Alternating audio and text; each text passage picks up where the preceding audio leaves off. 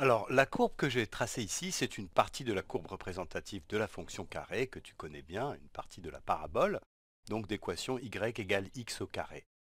Et ce que je voudrais faire dans cette vidéo, c'est essayer de calculer le taux de variation de cette fonction sur l'intervalle 1, 3. Donc, je vais l'écrire ici. On va essayer de calculer le taux de variation, le taux de variation de la fonction sur l'intervalle 1, 3. Intervalle fermé 1, 3.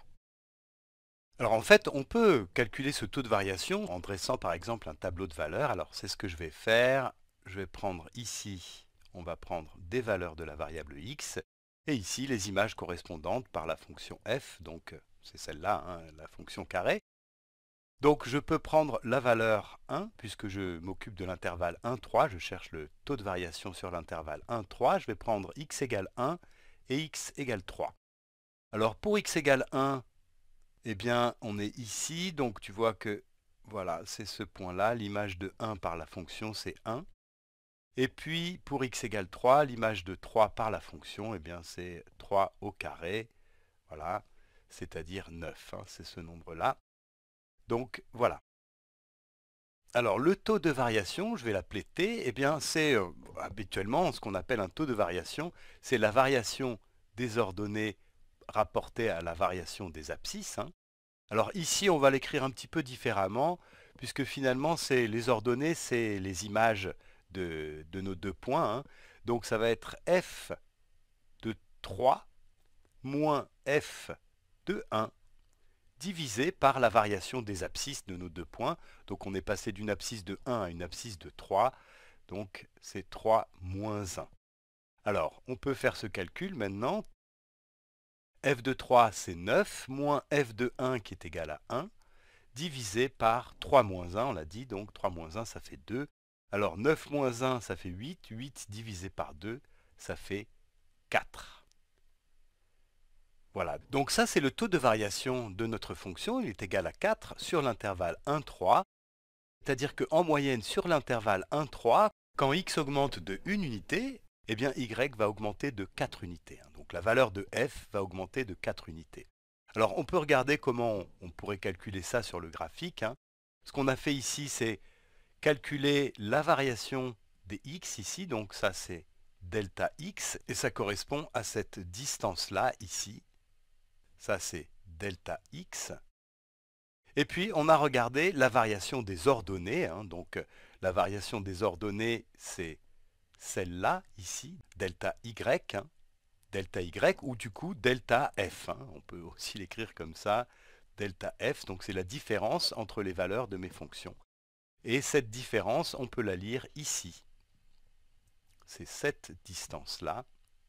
Ça, c'est delta f. Alors ce dessin te fait peut-être penser à quelque chose. En fait, c'est exactement ce qu'on a fait quand on calculait la pente d'une droite. Hein.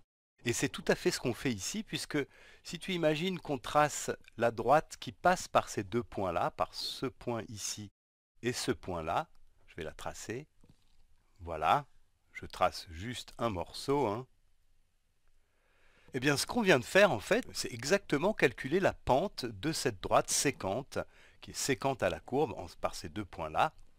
Et donc le taux de variation de la fonction sur l'intervalle 1, 3, eh bien c'est exactement la pente de la séquente entre le point d'abscisse x égale 1 et, le point d'abscisse x égale 3. Mais alors ce qui est intéressant, c'est de comparer le taux de variation à l'intérieur de, notre intervalle 1, 3, hein, de la fonction et de la droite séquente qu'on vient de tracer ici. Tu vois que au départ ici, si on se place par ici sur la courbe, on a l'impression que le taux de variation va être plus important que ici sur la courbe, alors que plus tu avances, plus euh, le taux de variation de la courbe va augmenter. Hein. Il va être finalement plus grand que la pente de la séquente qui est ici. Ce qui veut dire qu'en fait, quand on calcule un taux de variation d'une fonction sur un intervalle, eh bien en fait on calcule un taux de variation moyen entre les deux extrémités de l'intervalle puisqu'en fait, à l'intérieur de cet intervalle, le taux de variation va changer constamment, il ne sera pas constant. Hein. Donc ça, c'est quelque chose qu'il faut bien comprendre.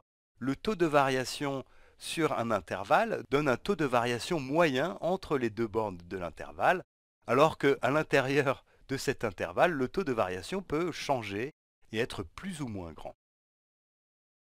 Autrement dit, si tu cherches le taux de variation, disons instantané en un point, de l'intervalle 1, 3, eh bien il ne sera pas égal à la pente de cette tangente, donc il ne sera pas égal au taux de variation moyen euh, sur l'intervalle 1, 3.